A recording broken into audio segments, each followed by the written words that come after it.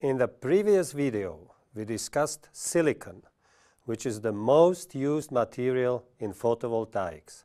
In this video, we introduce the band diagram, for which we will use silicon as an example.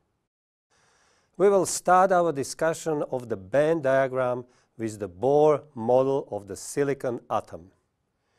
In semiconductor materials, the outer shell of the atom, which is called the valence shell, is not completely filled.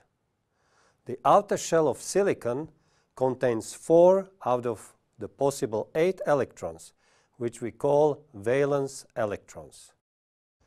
As we discussed in the previous video, each silicon atom in a crystalline stru structure is bonded to four other silicon atoms. The bonds between the silicon atoms, indicated by the black lines, are called covalent bonds. These bonds actually consist of two valence electrons that are shared by two silicon atoms. At a temperature of 0 Kelvin, the shown two-dimensional figure is an accurate representation of a silicon crystal lattice. All valence electrons are fixed in the lattice, forming covalent bonds, and are therefore immobile. However, at a temperature above absolute zero, thermal energy is supplied to the semiconductor and some of the valence electrons are released from the covalent bonds. These excited electrons are mobile and can move around in the material, allowing the semiconductor material to conduct electricity. The band diagram is a convenient way to express the energy state of a valence electron and is therefore a much used tool in semiconductor physics. The y-axis in a band diagram represents the energy level of valence electrons in a semiconductor. In an isolated silicon atom, electrons are allowed to have only discrete energy values. However, the periodic atomic structure of a silicon crystal results in the range of discrete energy states for electrons. The allowed energy levels for bound valence electrons are indicated by the blue area. This band of allowed energies is known as the valence band. The valence band comprises the energy levels of all valence electrons in a semiconductor material at absolute zero. When a valence electron receives additional energy, either from a photon or through thermal vibrations, it can become mobile. Having absorbed additional energy, these mobile electrons are at a higher energy level than the bound valence electrons. The band of allowed energy states for these conduction electrons is known as the conduction band and is indicated by the yellow area. The lowest allowed energy level of the conduction band is known as the conduction band edge, indicated by EC. The highest allowed energy level of the bound valence electrons is known as the valence band edge, indicated by EV.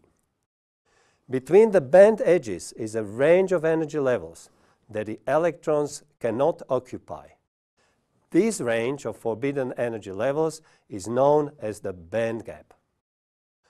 The band gap energy, indicated by Eg, is therefore equal to the difference between the conduction band edge and the valence band edge.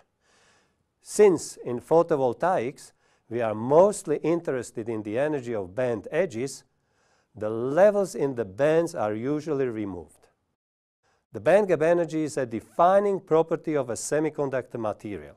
For instance, the bandgap energy of silicon at room temperature is equal to 1.12 electron volts. So elements of which the valence shell is about half full are semiconductors. Elements with valence shells that are completely filled or almost completely filled have very different electrical properties. The valence electrons of these elements are strongly bound to the atom. These elements have a very large band gap, and the valence electrons require a very large amount of energy to be released from the valence shell. As a result, these elements have a relatively small amount of mobile electrons at room temperature and therefore conduct electricity very poorly. These elements are called insulators. Metals, on the other hand, have only one or two electrons in their valence shell, which are very loosely bound. The valence and conduction bands of metals overlap, which means that no external energy source is required for a valence electron to become mobile. Metals, therefore, have a very large amount of mobile electrons and conduct electricity very well. That is why metals are called conductors. Semiconductors have band gap energies that are small enough for photons to excite valence electrons to the energy levels of the conduction band. This is the first step to convert energy of light directly into electricity. We will use this band diagram many times during the photovoltaic energy conversion course and also in the next course about the different PV technologies. Understanding the concept of band energy diagram as explained in this video is sufficient to understand all photovoltaic related concepts that will be introduced in this MicroMaster series. However, the physical and chemical interpretation of the valence band, conduction band, and band gap is more complex than discussed here. If you want a deeper understanding regarding the nature of the allowed energy states and the different bands, bonus videos are posted at the end of section 2.1. In the first video, the nature of energy bands is explained using a physical quantum mechanical approach, while in the other bonus video, a chemical approach is used to explain the band diagram. Now that we are familiar with the concept of band energy diagram, we can discuss the differences between a direct and indirect band gap. For that, we have to look to the momentum of the electrons as well as their energy states. Or in the other words, we will look at the properties of the semiconductor material in the so-called energy momentum space of the electrons. On the vertical axis, we have the energy state in the electronic bands, and on the horizontal axis, we have got the momentum of the charge carrier. This momentum is also called the crystal momentum. As discussed before, a photon can change the energy position of the electron.